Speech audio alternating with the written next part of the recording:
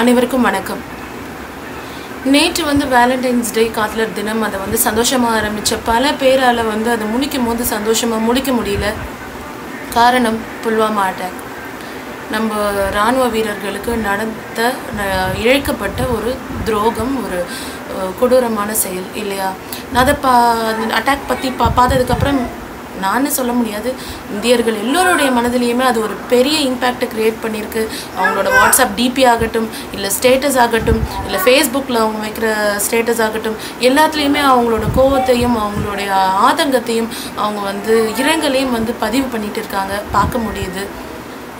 என்ன நடந்துச்சு புல்வாமாவில் அப்படின்னு பார்த்துருக்கீங்க பார்த்தீங்கன்னா நம்ம அந்த சோல்ஜர்ஸ் எல்லாருமே நம்ம ஊரில் வந்து ஊருக்கெல்லாம் போயிட்டு அவங்க அப்பா அம்மாவை எல்லாம் பார்த்துட்டு ஒய்ஃபை பார்த்துட்டு புதுசாக பிறந்த குழந்தைய பார்த்துட்டு அண்ணன் தம்பி தங்கச்சி ச அக்கா ஃப்ரெண்ட்ஸ் எல்லாத்தையும் பார்த்துட்டு சந்தோஷமாக திரும்ப சரி நம்ம வேலையை பார்க்க போகலாம்னு ஜம்மு அண்ட் காஷ்மீரில் ஒன்று கூட்டினவங்கள வந்து எல்லைக்கு கூட்டிட்டு போகிற வழியில தான் புல்வாமான்ற ஒரு இடத்துல ஒரு அட்டாக் பண்ணியிருக்கான். ஒரு பையன் இருபத்தி ரெண்டு வயசு பையன். அவன் பேர் அதில் அகமத்தர் அவன் வந்து அந்த ஊர்க்காரன் தான் நம்ம நாட்டுக்காரன் தான்.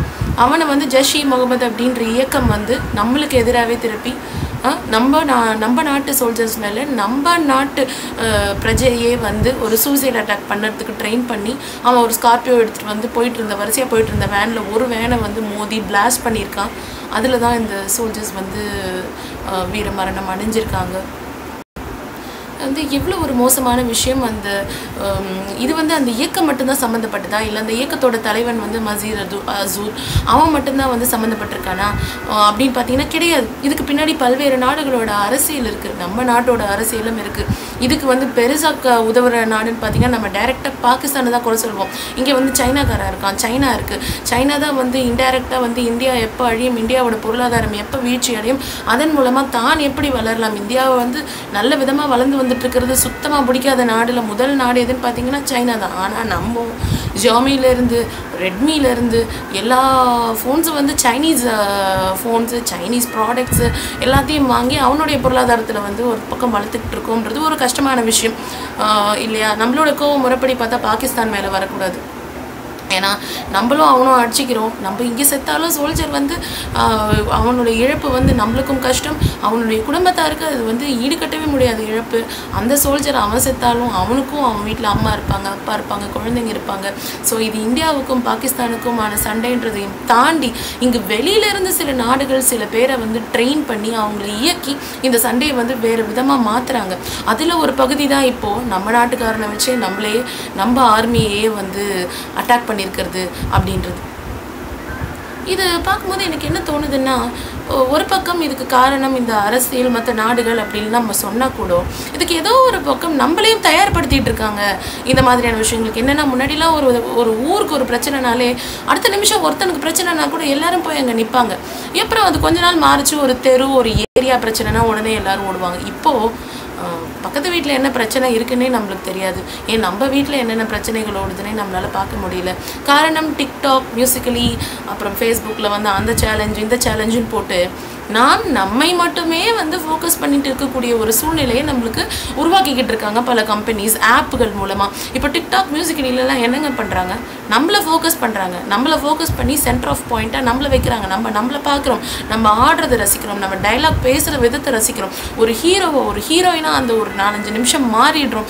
ஸோ அந்த டிக்டாக் மியூசிக் ஆப் மூலமாக ஒரு நாலு பேர் அஞ்சு பேராக சேர்ந்துருந்தவங்க கூட இப்போ தனித்தனியால ஆகிட்டாங்க இல்லையா? அதன் மூலமாக வந்துட்டு பெண்கள் எல்லாம் வந்து ஒரு மோசமான பாதையில் போயிட்டு இருக்காங்க. வந்து சில சிலதெல்லாம் வந்து அதை அதை பற்றி நம்ம தனியாகவே ஒரு பதிவே பேசணும். ஆனால் இப்படி ஆனதுனால நம்ம சுற்றி இருக்க விஷயங்களை கவனிக்க மறந்துடுறோம். நம்ம நாட்டில் அன்னன்னைக்கு நடக்கிற அரசியல் ரீதியான பிரச்சனைகள் நம்ம வந்து பார்க்க மறந்துடுறோம். நம்ம வந்து நம்மளோட சோஷியல் ரெஸ்பான்சிபிலிட்டிஸை குறைச்சிட்டு நம்ம நம்மளை பற்றி மட்டுமே பார்த்துட்ருக்க ஒரு சூழ்நிலைக்கு நம்மளை தயார்படுத்திட்டு இருக்காங்க அப்படின்னு எனக்கு தோணுச்சு. இதில் சில தப்பை வந்து நம்மள எல்லாருமே பண்ணியிருப்போம் இதில் ஏதாவது ஒரு ஃபேஸ்புக்காக இருக்கட்டும் இது நான் வந்து குறிப்பாக யாரையுமே சொல்லலை. இதில் நான் உட்பட நம்ம எல்லாருமே அடக்கம் தான் இதை நம்ம கொஞ்சம் மாற்றிக்கணும் நம்ம இன்னும் விழிப்புணர்வோடு இருக்கணும் கேள்வி கேட்க ஆரம்பிக்கணும் நம்ம சுற்றி நடக்கிற விஷயங்களை உன்னிப்பாக நம்ம கவனிக்கணும். ஏன்னா இன்னைக்கு நமக்காக நம்ம சந்தோஷமாக இங்கே வெளியில் போகிறோம் மாலுக்கு போகிறோம் பீச்சுக்கு போகிறோம் ஊர் சுற்றுறோன்னா அங்கே எல்லையில் பனியிலையும் குளிர்லையும் காட்டுலேயும் மேட்லையும் கஷ்டப்பட்டு சண்டை போட்டு நம்மளை பாதுகாத்துட்டு இருந்த சோல்ஜர்ஸ்க்கு நடந்திருக்க இந்த ஒரு விஷயம். நாளைக்கு இது நம்மளுக்கு நடக்கிறதுக்கு எவ்வளோ நேரம் ஆகும் சொல்லுங்கள் நம்மள நம்மளாம் இப்போ வெளியில் போகிறோம் கூட்டமாக இருக்கும். அந்த இடத்துல திடீர்னு ஒருத்தவங்க நம்ம மேலே இந்த மாதிரி டெரரிஸ்ட் அட்டாக் பண்ணாங்கன்னா கேட்கும் போதே பதறலாக இருக்கும். இல்லையா? நம்ம எல்லாம் வந்து வேலைக்கு போகிற ஹஸ்பண்டோ இல்லை அப்பாவோ அண்ணனோ வீட்டுக்கு வரதுக்கு ஒரு அரை மணி நேரம் லேட் ஆகிட்டா கூட பதறி போய் பத்து மெசேஜ் ரெண்டு மூணு கால் பண்ணி கேட்குறவங்க இன்றைக்கி சந்தோஷமாக போயிட்டு வாப்பா நான் அமுச்சு வச்சேன் அந்த நாற்பத்தி ரெண்டு பேர் திரும்ப வரவே மாட்டாங்க. அந்த குடும்பத்துக்கு கிடைக்கவே மாட்டாங்க. என்ன நான் கொஞ்சம் இமோஷ்னலாக பேசுகிறேன் ஆனால் இந்த மாதிரியான விஷயங்களை என்னால் இமோஷ்னல் ஆகாமல் பேச முடியாது. ஏதாவது வார்த்தை பிழை இருந்தால் என்னை மன்னிச்சிடுங்க. அந்த ஒரு அந்த ஒரு நிலைமை இப்போ ஏற்பட்டிருக்கு. ஸோ நம்ம இன்னும் கொஞ்சம் நம்மளோட சோஷியல் ரெஸ்பான்சிபிலிட்டியை நம்ம வளர்த்துக்கணும். இந்த ஆப்புகள்லாம் இருக்குது என்டர்டெயின்மெண்ட் ரொம்ப முக்கியம் தான் நம்ம வந்து வாழ்க்கையில் என்ஜாய் பண்ணணும். என்ஜாய்மெண்ட்ஸ் எதையுமே நம்ம தள்ளி வைக்க வேணாம். ஆனால் அது கூட நம்ம நாட்டோட அரசியலை நம்ம கவனம் செலுத்தணும். நம்மளை சுற்றி நடக்கிற விஷயங்களை நம்மளை கவனம் செலுத்தணும். கேள்வி கேட்க ஆரம்பிக்கணும். இதெல்லாம் நம்ம வந்து பண்ணணும். ஸோ இன்னைக்கு வந்து நேற்று வந்து அந்த துயரமான சம்பவத்தில் உயிர் நீத்த அத்தனை வீரர்களுக்கும் எனக்கு என்ன ஒரு ஆதங்கம்னா இந்த மாதிரியான சண்டைகள் எப்பயும் எல்லையில் நடந்துக்கிட்டே தான் இருக்கும் இல்லையா? ஆனால் அதெல்லாம் வந்து எதிர்நாட்டுக்காரங்களோடையோ இல்லை தீவிரவாதிகளோடையோ வந்து துப்பாக்கி எடுத்து சுட்டு சண்டை போடுவாங்க. அது நெஞ்சில் குண்டு வாங்கி எப்படி வீரமாக வந்து அவங்க உயிர் நீப்பாங்க. அதுவும் கஷ்டமான விஷயம் தான் ஆனால் கூட அவர்களுக்கு அது மனநிறைவு எழுதிருக்கும் ஆனால் அந்த வாய்ப்பு அந்த சண்டையிடுற வாய்ப்பு கூட கொடுக்காம ஒரு வீரனை இப்படி ஒரு கோழைத்தனமாக ஒரு சூசைட் அட்டாக் பண்ணி வந்து சாகடிச்சிட்டாங்கன்னு கேட்கும்போது அது இன்னும் மனசுக்கு வந்து கஷ்டமாக இருக்குது ஏன்னா நம்ம வந்து ஒரு டாக்டர்ஸ் ஒரு பெரிய பொசிஷனுக்கு ஒரு ஐஏஎஸ்க்கெல்லாம் கொடுக்குற மரியாதை விட ஒரு படி அதிகமாக தான் நம்ம எல்லாருமே ஆர்மி சோல்ஜர்ஸ்க்கு வந்து நம்ம கொடுக்குறோம். நான் அவங்க வந்து நம்மளோட சேஃப்டிக்காக நம்மளோட சந்தோஷத்துக்காக நாம இங்கே கவலையே இல்லாமல் படுத்து நிம்மதியாக தூங்கி எழுங்கிறதுக்காக அவங்க அங்கே கஷ்டப்படுறாங்கன்றதுனால. ஸோ அவங்களுக்கு நடந்த இந்த விஷயம் மனசுக்கு ரொம்ப கஷ்டமாக இருக்குது ஸோ இதுக்காக ஃபீல் பண்ணிவிட்டு ஒரு ரெண்டு நாள் கஷ்டப்படுவோம். அப்புறம் whatever happens life has to move on நம்ம அடுத்தடுத்த விஷயங்கள் பார்ப்போம்.